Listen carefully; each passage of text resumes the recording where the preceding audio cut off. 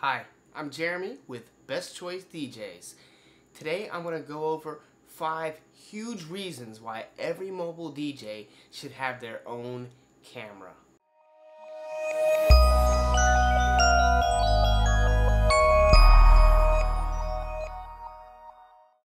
I bet when you think about DJ equipment, a camera is the last thing on your mind. But I'm going to quickly go over five reasons why you should have one, and then we'll look at each of these reasons in more detail. The first reason is because you can use the camera to take photos and video for your own promotional use. The second reason is taking photos for your clients or video is a great way to go above and beyond for each client, which is a great business practice that I do. The third one is it's another way for you to make money. Fourth one, it's another way for you to get more bookings. And the fifth is it will help you get more reviews. I recommend going with a full frame camera. It could be either mirrorless or a DSLR, but you want to go with a full frame because they have more potential to have the ISO increased which is really good for low light situations. And you're going to find if you're doing events like I'm doing, you're going to end up in low light situations very often. So that really makes a big difference in your camera. So let's dive in and look at each one of those separately now. The first reason why you should have a camera is to shoot your own promotional photos and or video. You know, think about it. You're already there DJing anyway. Why not document the magic that you're making happen? After all, think about it. Your potential clients are going to want to see that. When they're trying to decide between you and someone else and everything else is equal, price and assuming the quality, they're going to be much more likely to go with you because they see you. They see how you dress. They see how you carry yourself. They hear how you do the uh, introductions into uh, the beginning of a wedding and uh, reception. They will be able to know, like, and trust you just by watching your videos. Photos are good too. I take photos, I like to upload them onto Instagram and then with just a simple one click of a button that also gets shared to my Facebook page, which is an efficient use of my time. I'm not having to go to both social media sites and share, so I like that. Also, people find you on social media. It shows that you're active. If someone goes to your page, they see that you're posting things regularly. You know, if you do just one gig a week, but you get five photos out of that one gig, then now you have five photos to share that week. And if that's all you share, then that's fine. And you go to another gig, you get another five or seven, and so on. It shows that you're being active. So if anyone looks there, if you, you know, if someone sees your profile and you haven't shared anything for three months, how do they know that you've even worked in the past three months? It kind of looks like you haven't had a gig in three months, for all they know. And not only can you use those photos for sharing, but you can also use those same photos to make like your cover photos for your um, Facebook page or for your YouTube channel or for your website. So you can repurpose these photos as well. That way you're not using some generic stock footage, which is kind of obvious to tell to a lot of people. You know, not only can you upload your photos and videos to Instagram and Facebook.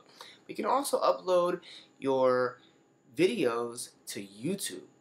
That's another way to um, establish yourself and maybe if not even if none of your potential clients see it, maybe another DJ in your area sees your videos and they because they see you do a good job, they refer you someone when their client, someone that they know needs a DJ and they're already booked. So um, there's a lot of different reasons to do this and this is only the beginning of it. because an another another thing to think about is I think that Google will recognize that you're publishing content regularly. While it doesn't really directly affect SEO much, it's got to look a lot better in Google's eyes when you're posting content regularly to Facebook, Instagram, and YouTube, and then you're embedding the, those YouTube videos onto your website. And also what that does is it keeps people on your website longer, which does help your SEO. If they go there and they're like, ah, two seconds later they're they're bouncing off. It's it's it's called a um, it's your bounce rate when that happens a lot, Google's like, oh, well, these people weren't that interested in whatever they found when they went here. But if they go there and they watch your video, even if it's for a minute, that kept them on your site longer, and Google's going to see that as being more important, and they're going to boost it in the search results. One of the things I've just started doing recently is doing a gig log. I saw other people doing their own gig logs on YouTube, and basically it's like a blog, but a video blog, like a vlog, but it's of your gigs. You're blogging about your gigs on video. And video is a great medium to show it because it includes audio and people dancing. It's really great. So I just started doing that and I'm really excited about doing my gig logs in the future. The second reason DJs should have their own camera is they can use it to go above and beyond for their clients. I strongly believe going above and beyond is a good business practice for any business. But when you're throwing um, events, when you're facilitating a couple's most important day of their lives up until that point, you need to take it very seriously and not just do the bare minimum. You want to under promise, over deliver. And a camera is a great way to do that because you can actually take free photos for them. I mean, you need photos for your blog, you need photos for your social media sites, and you know, what better time to get those photos than when you're at a gig? If you're standing behind a DJ booth, you can just simply grab your camera when everyone's dancing, bouncing around, going nuts, and just start snapping a few photos. Now, when I get a photography gig, I shoot in what's called RAW. That means the photos have to be edited. But when I'm DJing, I don't always do that because I don't always have the time to go and edit them. It's a whole process, importing them into the computer, editing them, exporting them. So a lot of times I'll just shoot JPEG. So that way I don't have to edit the photos if I don't want to. And sometimes what I'll do is I'll shoot both. The third reason DJ should have a camera is because they can make more money with it. It's an easy service to offer on top of your DJ service. What I've been doing is I'll just offer to put a camera on a tripod and it's not a lot of work. This is the way I explain it to him. I'm like, hey, look, I'm already going to be there. It's not a whole lot more work for me to put a camera on a tripod and record your wedding. And because I'm already getting paid to be there to DJ, I'm already making my money for the weekend. Extra money is icing on the cake. So, you know, I, I tell them if I were to just come out and shoot a video, I would have to charge you what everyone else charges you.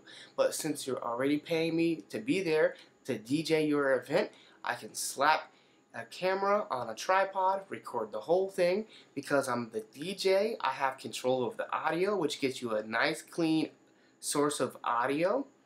And while it may not be as good as if I was only shooting the video, it's a fraction of the price. And a lot of people end up going without a video because they can't fit it into the budget.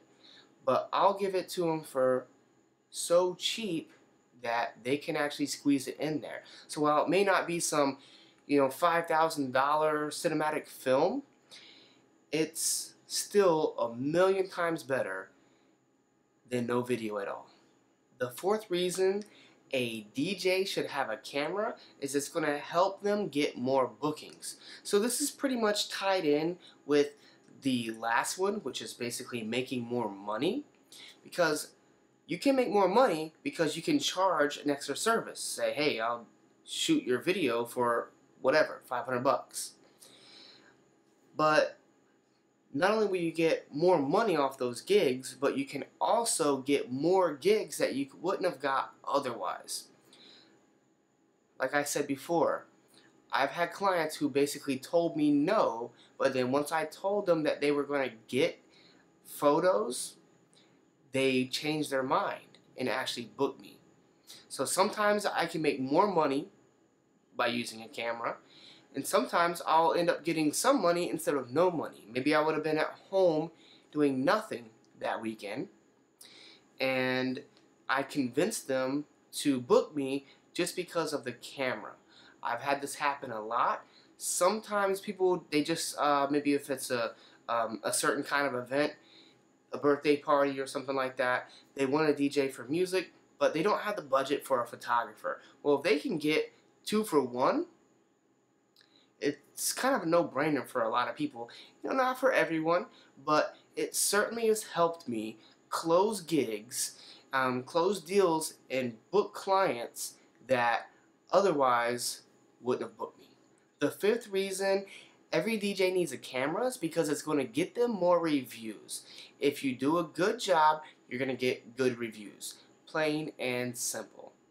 When you take photos or video for a client, you have to reach out to them after the fact to give it to them. So this is a perfect opportunity for you to try to get them to give you a review.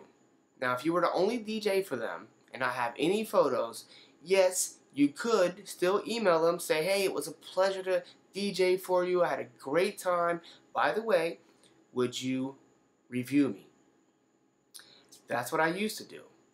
But now, instead of just basically emailing them to thank them and ask them for a review, now I'm giving them something, something of value, really something that's in a way priceless. I'm giving them something that's priceless in many cases. And all I'm asking them to do is take one minute and write me a review. Not only are they going to be more likely to do that, but it will also be more of a favorable review because after all, you went above and beyond for them and you did more than they paid you for. I like to share the photos online, like maybe on Facebook into an album and then when I write them, I'll link that, I'll put a link to that album in the email. Say, hey, I shared the photos, they're on Facebook, check it out, feel free to share it. And then sometimes people get on there and they'll like your page or they'll share it. And this gives you free exposure to their friends and family. Maybe they saw you at the event and they they didn't think about asking you for a card or you were just too busy or they were just too shy they didn't want to ask for your card um, or maybe they just didn't know how good your photos were and now that they see wow this guy DJ'd and took photos this is great they've got your information now. They have your page. They can easily go to your website. They can get your phone number from your Facebook page. And it's all because you took these photos and, and you put them online. Now everyone has access to see them and therefore access to get in touch with you.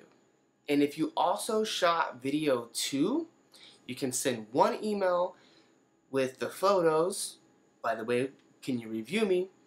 Let them check that out and hope that they review. But if that's all, what you're pretty much done. What else can you do besides write them again? Say, hey, how about that review?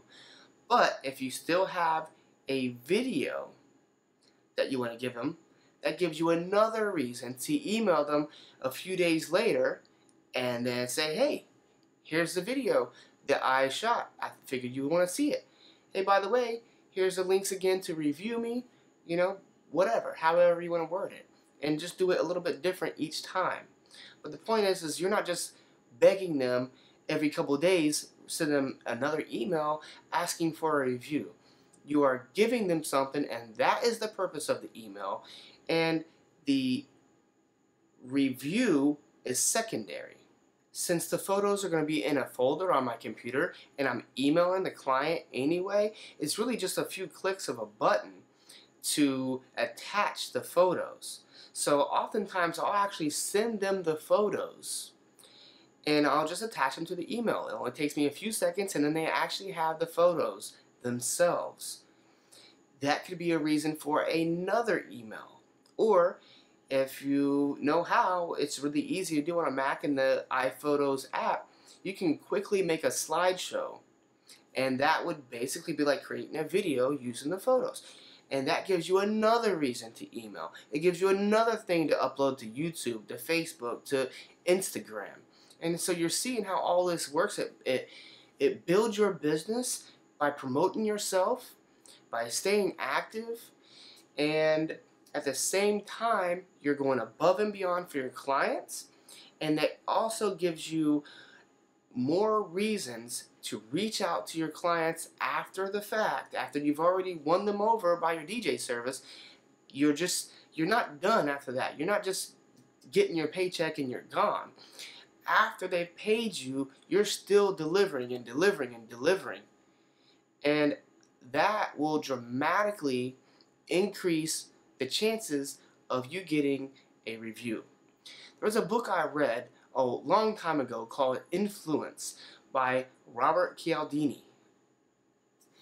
That book has a lot of different tactics in there. It's basically sales, how to influence people.